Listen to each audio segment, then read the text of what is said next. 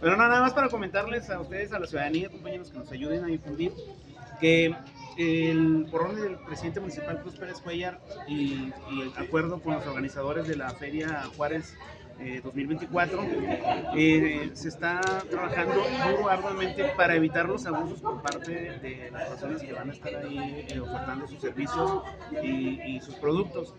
Eh, señalarles a la ciudadanía que dentro de las instalaciones de la feria hay un módulo de, de Profeco que está atendido por dos personas el delegado de, la instancia, eh, Sergio Tejeda, bueno, ha destinado este, este, este operativo sin tener que todavía estar presionando mucho.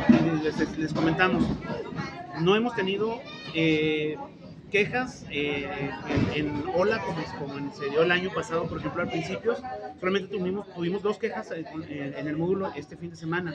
Decirle a la ciudadanía, tengan mucho cuidado. Ciertamente sabemos que cuando más gente hay es cuando más abusos se presentan, obviamente precisamente por la, por la cantidad de la demanda de los productos. Decirles que vean, eh, que, les, que les enseñen los precios, que los precios estén a la vista, que las cartas estén, las tengan a la vista, tómenle una foto si, si es necesario. Eh, no pueden abusar ni pueden subir los precios nada más porque sí, y la propina es voluntaria decirles que los meseros eh, que, prestan su servicio no les pueden imponer una, propina, un, costo de servicio y que una vez que ustedes pidan una bebida, una, algún alimento, ellos tienen que decirles primeramente el precio, mostrárselos físicamente y entonces así podemos evitar este tipo de abusos. No podemos actuar ni podemos eh, tener alguna acción si no tenemos directamente el señalamiento sobre el puesto, sobre la persona principalmente el puesto, y está, estipulado dentro de la firma que ellos realizaron, de que en caso de presentarse este tipo de abusos, pueden ser retirados inclusive de prestar sus servicios en, al interior de, la ciudad. Entonces, le invitamos a la ciudadanía a que nos señale precisamente estos abusos para poder actuar en consecuencia. si no los tenemos, no podemos actuar. ¿Las quejas regularmente son en comidas? En...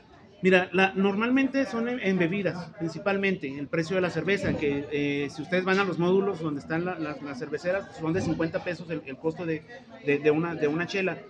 Y cuando se los compran a un cuate que anda con una cubeta, este, que no es directamente con el proveedor, este se los puede dar en 70, en 80 o hasta en, o hasta en 100 pesos. Entonces, acordar bien este, este, punto, que la compra directamente en los módulos, es, eh, ahí, está, ahí está el precio no, no, puede haber abusos si eso se le compra directamente eh, en los módulos, porque ahí tú llegas y ya está, dice, eh, cerveza light, 50 pesos. Entonces tú das tus 50 pesos y ya está en ti si le das o no le das una propina a la persona que, que, te presta el servicio. Pero esta no te la pueden imponer. En el tema de la comida es lo mismo, sin embargo hay que decirlo, en esta ocasión no hemos tenido más que quejas a, través de, de, las redes sociales, pero ya se lo comentaba a alguno de ustedes, pero no dicen los puestos, no dicen dónde fue. O sea, también se presta a, querer, a querer quemar el, negocio sin, sin, tener las pruebas de. Entonces, queremos evitar esto, queremos que la feria sea para el disfrute de todos y queremos evitar justamente los abusos por parte de los locatarios. Entonces, por eso les, les pedimos, si hay un abuso, señalen quién para poder actuar bien.